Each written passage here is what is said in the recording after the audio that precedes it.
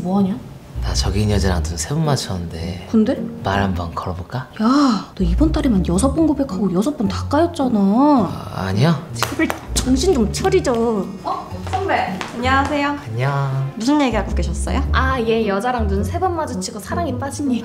선배 또 그랬어요? 가만 보면 선배 진짜 귀엽다니까 귀엽다고?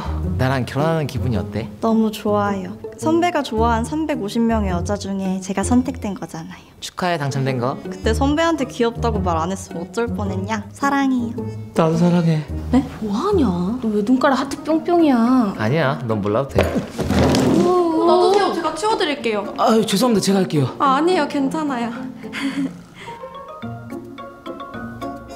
잠깐! 이 결혼 무효야! 누구세요? 저는 지명 씨가 카페에서 커피를 흘렸을 때 닦아준 알바인데요. 그런데요? 지명 씨 사랑해요. 선배는 제가 더 사랑하거든요? 아니요, 제가 더 사랑한다고요! 선배 말해봐요 둘 중 누구예요? 두 분 다 죄송한데 저한테 생각할 시간을 주세요 천천히 생각해보시고 누가 닦을지 말씀해주세요. 선배 이거 선배가 흘린 건데 제가 닦을 수도 있는 건가요? 아, 미안. 얘가 정상이 아니라서 가봐도 될 것 같아. 아 고민되네 야, 너 진짜 왜 그래? 어디 아프냐?